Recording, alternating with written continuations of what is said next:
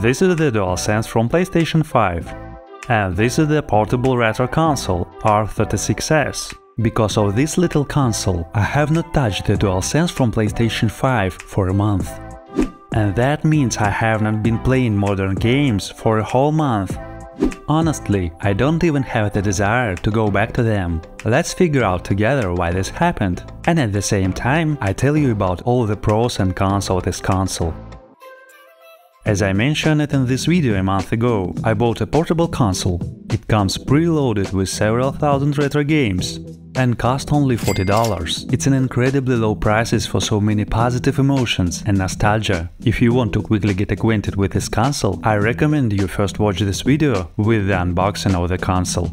It won't take much time, the video is only 5 minutes long. About the update, this console runs on a Linux Ubuntu-based operating system called ArkOS. You can get detailed information on the GitHub website, where there is a complete description of ArkOS. The developers also release updates there. By the way, when I first turned on the console, an old version of ArkOS was installed. The battery percentage was not displayed on the screen, and there was no volume control indicator. As you can see, now all of this is available thanks to the ArkOS update, Developers are constantly working on it, improving its interface and making it more stable and user-friendly. So, the first thing I did after unpacking was to update the ArkOS operating system. There are several instructions on YouTube on how to do this. For example, you can update using a USB Wi-Fi adapter, which not everyone has. But I'll show you, in my opinion, is the easiest way. I took my old Android smartphone, which supports the modem function via USB cable. I turned on internet sharing on it and connected the console to the second USB port. I remind you that the first USB port is for the charging device. Then I went to the options section and selected update. As you can see, after that, the console automatically finds the necessary update. I agree to the terms, and the update started. A few moments later. After some time, the update is complete. Now using the console is much more enjoyable and convenient. Settings and interface. I've already told you about how to perform an update. Now let me share details about accessing the console settings. To do this, press the Start button.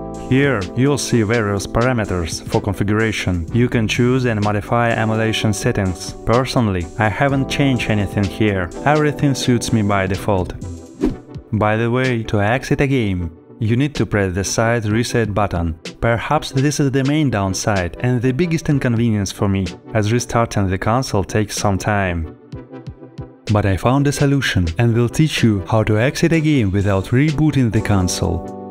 To do this, I hold down the Select plus X buttons. This brings up the emulator menu. Then I select Close Content and press the A button. The ArkOS main menu opens. I scroll down and select Quit RetroArch. Press the A button again. We have exited the emulator to the main menu.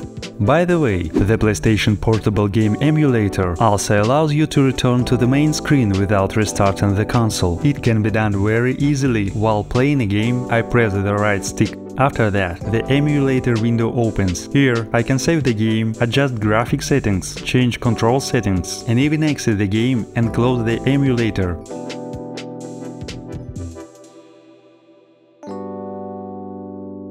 Let's talk about game saves. It's something ingenious.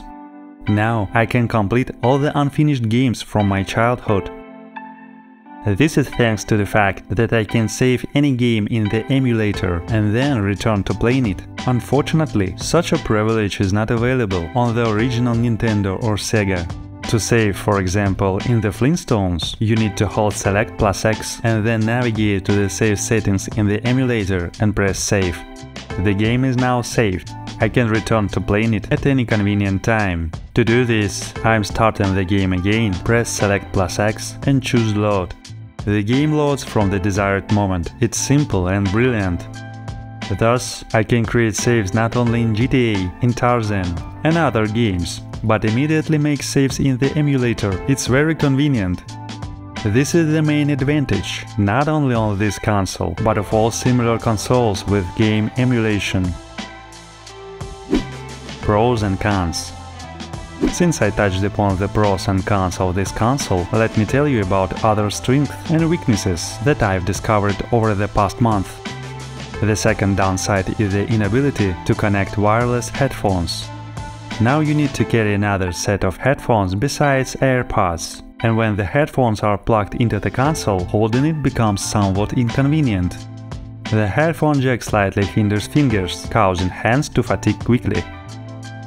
The third drawback is game lag, for example, in The Legend of Zelda Ocarina of Time. After playing for a long time and then putting the console to sleep, there's a chance the game may start lagging and freezing. It doesn't happen often, but it's better to save periodically, exit the game and restart the console. However, such behavior is understandable in heavy 3D games. Personally, for me, it's a minor drawback. And overall, complex games like GTA, Vice City Stories demand too many resources that this budget console doesn't have. So, dealing with low frame rates and stutters is something to accept as this console is not designed for demanding games. If you want to play more complex games, it's better to look for an original PSP or invest in something more powerful, like the Anbernic RG405 horizontal or vertical version. Such a console has a more powerful processor, supporting a larger game list, but simple 2D games from Nintendo, Sega and Game Boy work great on this console.